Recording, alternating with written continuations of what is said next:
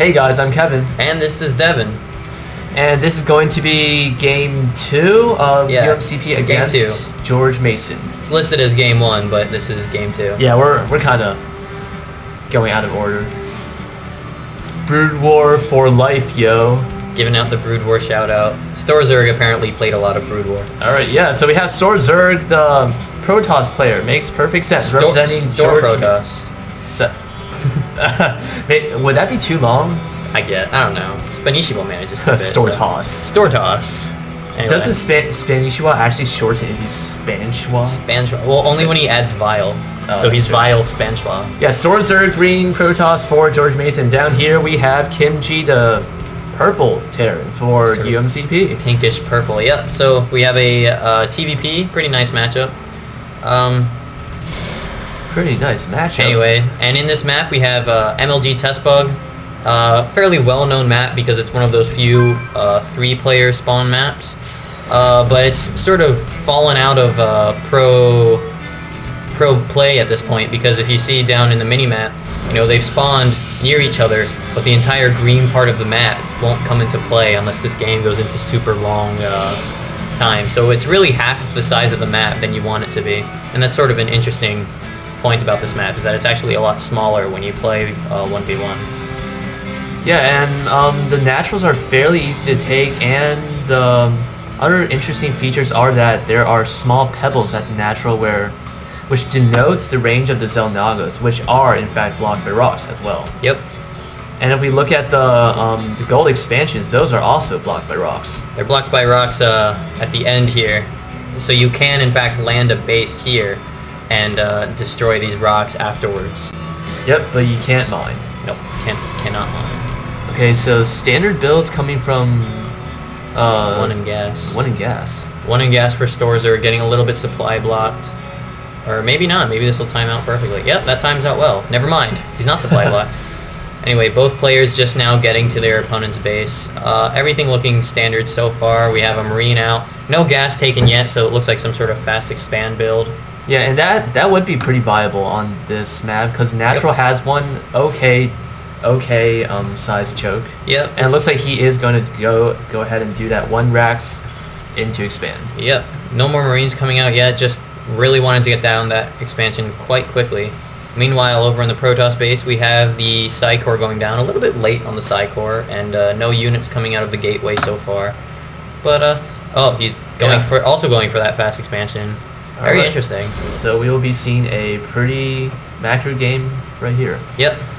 Uh, one bunker going down, Marine's gonna fend off that scout probe. Yeah, he's getting the bunker, but what he doesn't know is that there's absolutely no units coming out for Storzerg right now. He doesn't even have his Psi Core down. Yeah, and being that both players are masters, small differences like these could make a big difference. There he goes. on. Chronoing that chronoing that stalker. Good thing he's gonna get that out quickly. Try and use it for some scouting. But the SCV is gonna come in here, see everything.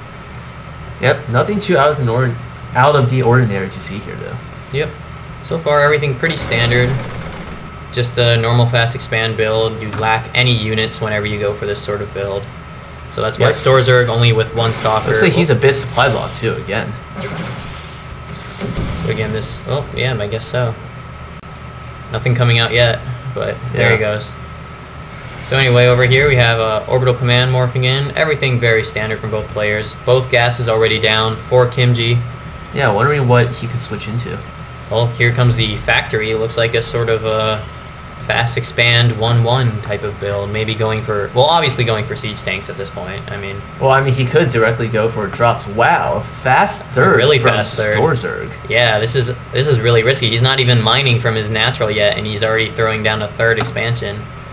Yeah, and if Kimchi doesn't scout this out later on, this could really hurt him in the long run. Yeah, and this this sort of brings us what I was saying is that you know the map becomes a lot smaller when you're playing you know one side to the other side.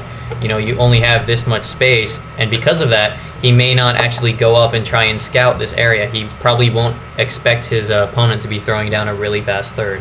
Yeah, that's true. When you bring up a good, po- a good point. When you're playing like uh, one-on-one on this map, which is pretty much the only thing, and we have low lag here, you might forget about that last um, edge of the map. Yep. That could play a pretty pivotal role. Anyway, so throwing down Kimji throwing down a bunch more barracks, gonna get that marine count high. Has the tech lab for them siege tanks. Very nice play, but a robo going down and a third gateway going down for Storzerg. The robo will come in handy, you know, getting those immortals out to counter those siege tanks. Yep. It's a very good choice. Uh, no aggression from both players right now, just macroing up, but I mean, okay, right. Uh, scout coming out for Kimchi, that's not gonna get too much. Ooh. Failed force field. So close. Scout, wow. Yeah, it's gonna get in here. It's gonna see the robo. Yeah, that could be critical information. Yep. And It it finally sees goes both gateways. Oh, it's still not down. Wow, very nice. This is a very, very strong 3 SCV. He wants to live. yeah. Anyway, first tank finally out for Kimji. hmm And this uh, third base now finished for Storzerg, not mining from it yet. Well, I mean, if choice. you get if you if you get this many expansions this early in the game, you probably don't even have enough workers to saturate all of them. Yep. So lots of reactor racks now, getting combat shields instead of stim pack. Uh, it's very interesting. Stim pack, you know, typically seen as a very offensive play, while combat shields more of a defensive play. Um, Yeah, Getting getting some friends Marines online. the extra 10 health will really help them make. Oh, whoops. really help make them a little more resilient. Yep, uh, it's very interesting. Maybe if he, he doesn't have any medevacs out, he doesn't really want to be wasting that uh, that health. Here comes the pros now to finally start mining at this third. Yeah, this could start to be problematic as Kimji has. He hasn't really scouted any indication of a possible third. Yep, he, he thinks he's playing two base to two base right now. Meanwhile, Immortal's already out for Storzerg. That's rough because you know going Marine tank, you, you can use those Marines to try and focus down those Immortals, but with good micro, you know Stalkers can clear up just about Yeah, everything. then it really comes down to the micro. Whoops. What did I do? I'm sorry. Refinery's not going down. Looks like a push coming out. Uh, at the same time, an observer just now getting in here sees everything. Yep, sees his entire tech path, which is probably going to be reviewed. Actually pulled off a good Eight number of eight SCVs. SCVs. Wow. And But where's he going? He's pushing out, it looks like. Yeah. He might... Well, he's going to go for the Xel'Naga first. Meanwhile, with Colossus coming out for Storzerg, as well as range. This is rough. Yeah, and I'd like to know that Kimji doesn't even have a starport yet either. He scans, he sees everything. Yep. He actually could have a little timing window here to knock knock Storzerg's army down because since he did commit to this expansion early on, he does have less units than he normally would. He's getting this, these bunkers down. Looks like he's Four going to bunkers. He's going for really a aggressive. contain. Oh, but the first Colossus is out. This could be really game changing. burns these force fields. Nice, nicely done by Kimji pulling back, but he is supply blocked right now. And we're still looking at 0-0 upgrades for both players, right? Yep. Yeah, so that one Colossus and Micro Well could do a lot of damage, lot Yep. splash damage on them. And another Colossus coming out and range. Yeah. Starport now going down for Kimji. Finally. Feel like this is probably overdoing a little bit. Four bunkers? Yeah, he, he definitely wants to keep this contain solid. I think, but you know, contain doesn't work if he already has a base up. This is rough. This is really bad. I don't know what he's gonna do about it. You know, these th- these units are happy to stay in here, and he's chronoing double yeah, upgrades. and one thing you would want to do in PvT as a Protoss is actually going for the going for a double forge upgrades. Because if you're Protoss, you have the chrono boost, and if you are able to chrono those upgrades out much faster than a Terran, you will actually be able to gain a significant advantage. nice, nice, nicely done. Nice sieged up tanks. Still adding bunkers. Yep. Looks like that's the fifth one, and Ooh, oh, using that tank- range. Yeah, tanks find a really good Wow, position. I mean, the, he the Colossus, Takes out both of those Yeah, tanks. That's Colossus rough. finds a really good position to snipe those. And yeah, um, Kimchi is probably feeling comfortable right now, knowing that he probably has a surround. But oh, looks like Storzer, he's warping in units up yeah, his third. he could be going for a, t- a flank. That'd be really effective. Yeah, these Colossus are just going to do so much to these Marines, and no medevacs here yet. Only No two Vikings tanks left. either. Yeah. No Vikings for the. Reactor Starport just now finishing, and what, what has he chosen to get? Two Vikings coming out of this Starport. Yeah, but in in a crunch in a situation like this when it's really crunch time, you would actually see some people opt to just throw down maybe three starports to get get the Vikings out faster. I think, yep, he sees Yeah, it. he he just got the Whoops. expansion. Ah. oh man, Colossus are starting to do work. They Yeah. had the range upgrade, right? Yeah. Uh, yep, they got But with range the tank, early. with the tank lines and the range of 14, they'll still be able to shell a little 14? bit. 13. Uh, close enough. Immortals now uh, being mass produced uh, from Storzer, Templar Archives going down, getting a lot of tech up. He knows he has that base advantage. And uh, Kimji has seen it. Uh, he's chosen not to do anything about Yeah, it. I'm surprised he's not choosing to take that out. Scanning it again. But the problem is, if he does send part of his army to take out um, Storzer's third, he leaves um, this tank line and bunker line very vulnerable. Yep, and he knows that. I think he's actually managed to contain himself with this play. But here he goes, pushing a little bit forward with these Vikings. All these zealots running forward. Yeah, but two Vikings aren't going to be nearly enough to take out this many Oh, but. And yeah, sandwiching with the units in the flank back. is coming. Wow, and he's going to clean this up. These tanks ha- can't decide which way to fire. Probably splashing the Marines as well. Yep. And Kimji's entire force gets decimated. Yeah, he just got annihilated here. He's down a total of like 50 food at this point. Yeah, I don't, I don't see how um, how Kimji can come back from it. He is expanding, but I'm not sure if he can secure that. Trying to get this means. expansion, but yeah, there's no real way to defend it. He's just got his army annihilated, and now there's Templar in the field, Storm being researched, two Colossus being made at once, as well as two two upgrades. He's just now starting uh, plus one for his weapons, as well as concussive shells. And that is my cell phone. We're not very good casters. We like to keep everything ready to go completely wrong as soon as we can. Indeed, and it looks like Wow. he's take double, Double expanding, expanding. behind that. He's gonna have five bases if both of those finish at this point. Meanwhile, Kimji's still on two, doesn't really know what to do with this third base he's just built. Yeah, he knows he is vastly behind, so he is probably forced to. He pretty much has two options right now: to out macro Storzer, which is probably not going to happen, or just go all in. Stores are getting three more gates down. Gonna have a total of seven gateways up. Has another observer here. Or maybe that's the same observer. He did have an observer here at some point, but I guess it might have gotten sniped. Uh, stores are doing a good job managing those expansions, coming in here, making sure there's not a third there. At the same time, man, these expansions are just gonna go completely unnoticed. Yeah, and looks like um, Kimji's trying to get his third, maybe He has a going drop with a drop to try to try to even things a bit. But Yep.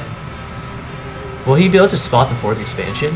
Uh, Probably flies right by. Oops. Yeah, flew, flew right by it. Didn't Yeah. see anything. Oops. So these these units doing a great job being mobile, going around, making sure that uh, things are yeah that Kimji's not expanding. But a great drop timing here. He saw the army on the other side of the map. Yeah. Only dropping three Marines. Gonna Forcing the, his entire army back too. sending the rest into the natural maybe. This entire army is coming back. He doesn't have much time here. Yeah. Zealot's coming in now.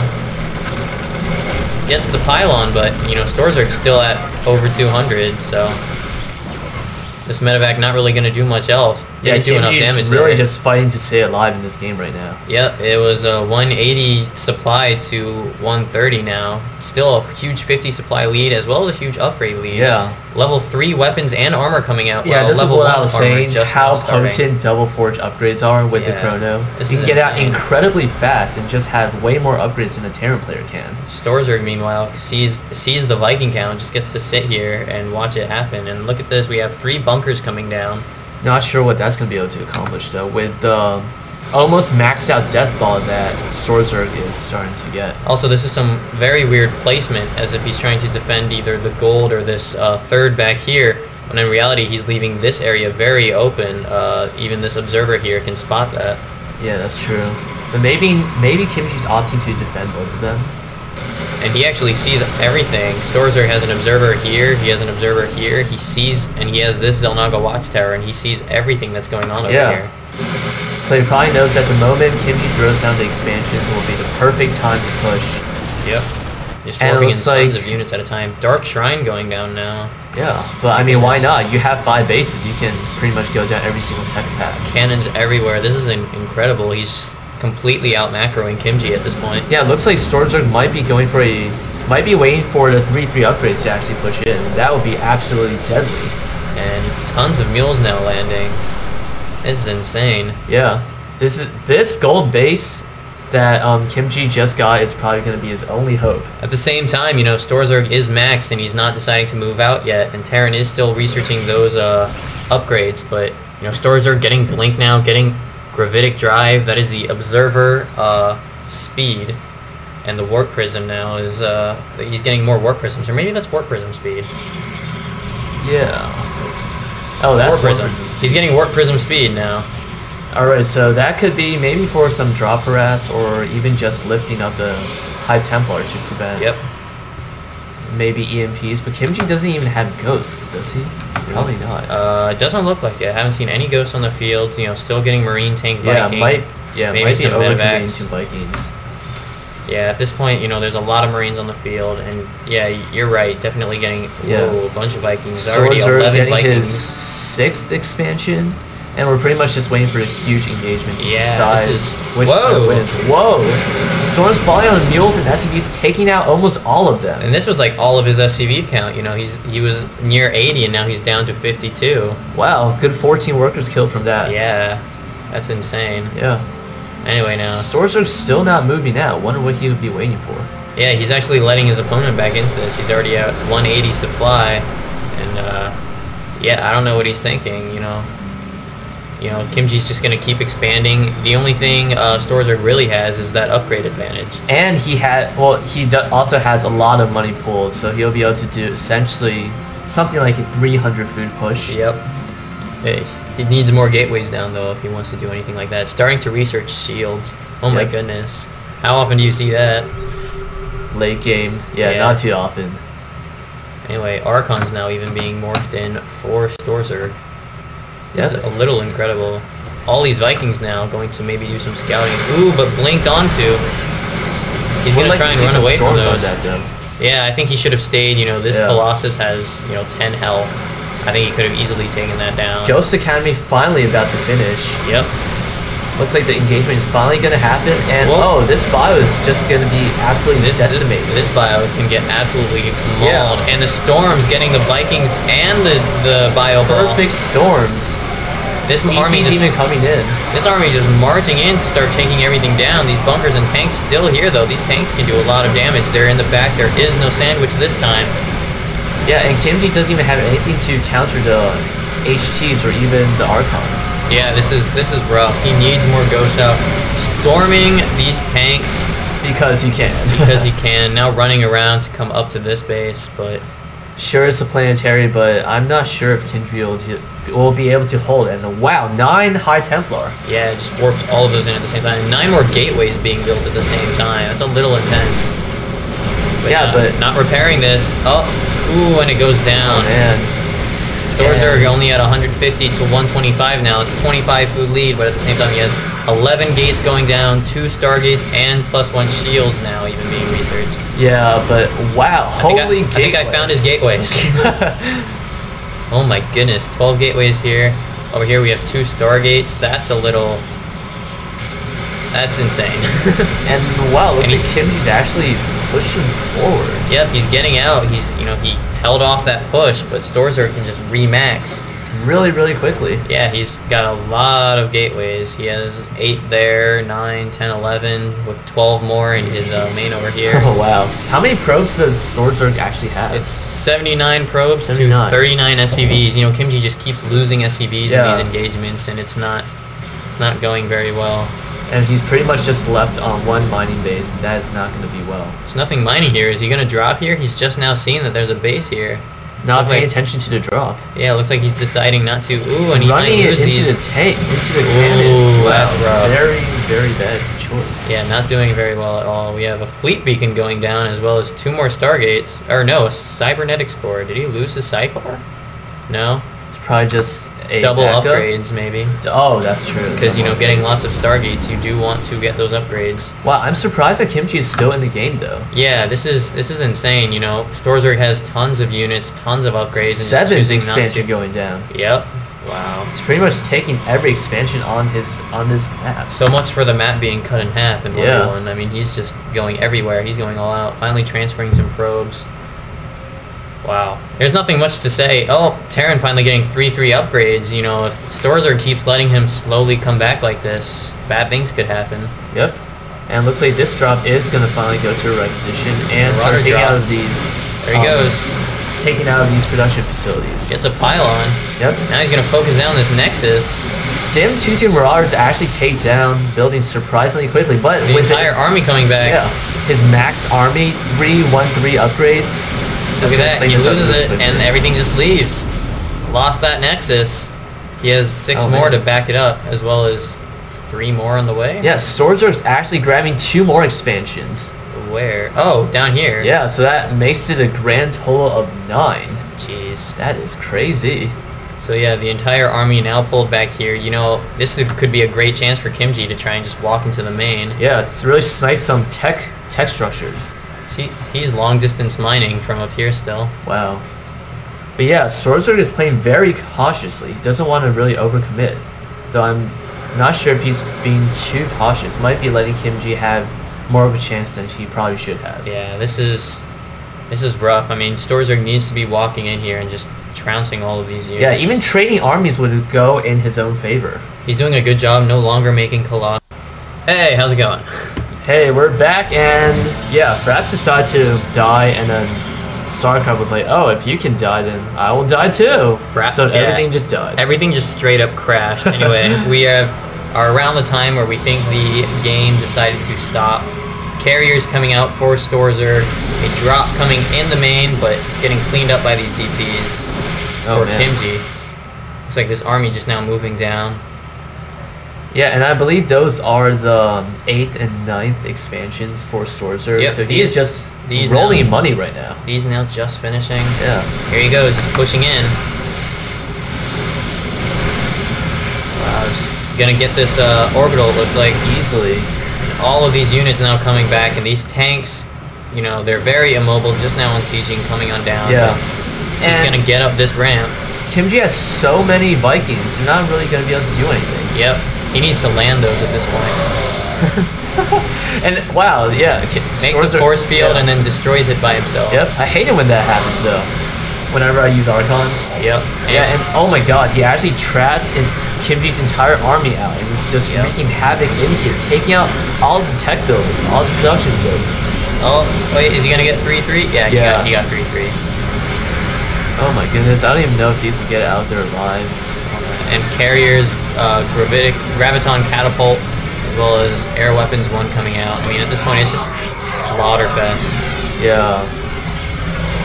He just lost his entire main and most of his production facilities. He manages to save six barracks. Still fighting though. Dodge Ooh, is storm, storming his own zealots. It seems kind of BM at this point. You know, he's just like, I'm so far ahead, I can storm my own units. Was that on purpose though? Uh, don't Not know. too sure. This DT is doing damage. Yeah, these Wow. DTs. Five kills on that? So the entire army comes back and still loses out to just about everything. Oh. Shields 3 just now starting. Carriers coming out. All these barracks trying to run. GG from Kimji. Yeah. And I, I don't know, I felt like Kimji was pretty should have had GG a while ago, but Sorcerer gave him a little too many advan well not advantages, but just not pushing when he Yeah, could have ended the Storzerg game a long was sort of ago. like almost letting him back into it uh, at several points, but I mean, with nine bases up, it's hard to lose at that point. Yeah, you know, he had. hard to justify not pushing with a maxed army. Let's count all the gateways. That can take a while. there- There's a bunch here, and there's a bunch, uh, and even some unmorphed ones in here. Yeah. There Full any more? control group. Yeah, full 24 gateways. Jeez. Any more over here? No, this is his Dark Shrine. Nothing over here. But yeah, so 24 gateways, three of them not morphed into warp Yeah. Hasn't That's- even revealed the carriers yet. Yeah, with tons of carriers on the way. That's, yeah, it was a bit over the top from Storzerg at this point. Yeah.